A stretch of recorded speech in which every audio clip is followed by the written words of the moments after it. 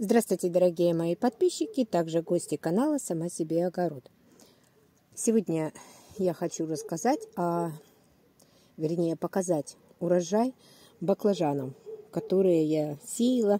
Это скороспелые и царская икра. Кто со мной знаком, тот видел мои публикации с самого начала, из, э, даже с семян, как я посев, делала посев, и теперь вот хочу показать урожай. Вот они, выбахали до метра кусты. Так, сейчас как поближе показать. Вот такие вот баклажанчики. Вот такие вот размером.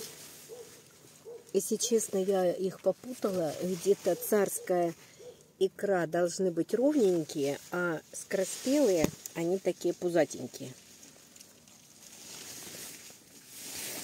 Вот такие они у меня в теплице выросли. Баклажаны очень любят поливы. Они очень прожорливые.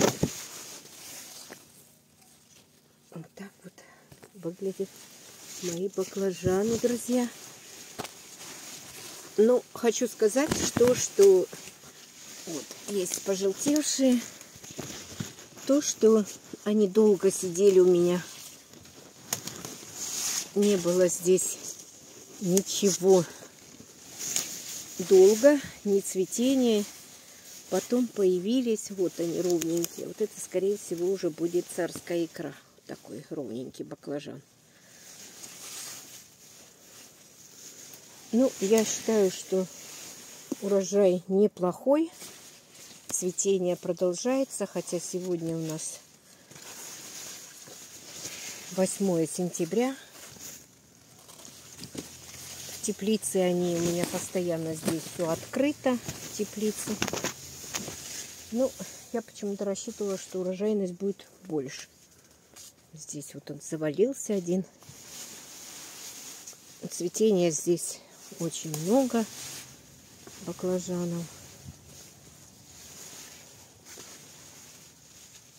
Вот такие кусты до сих пор цветут. Вот такие вот. Вот такой вот урожай, друзья. Здесь только маленькие начинаются. Как бы показать поближе. Ну что, я хочу сказать, друзья, что они, конечно, болели, э, когда перепады были температур. Э, именно вот весной, в начале лета. Они как сидели на месте, как бы. А теперь вот они начали вот так расти, разрастаться, цвести. Ну что, подкармливаю, стараюсь каждую неделю, хотя везде пишут, что баклажаны любят можно чаще подкормки.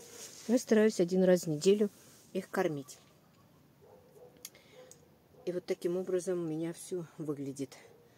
И они очень прожорливые. Пить хотят чуть ли не через день. Тут теплица и поливать приходится часто.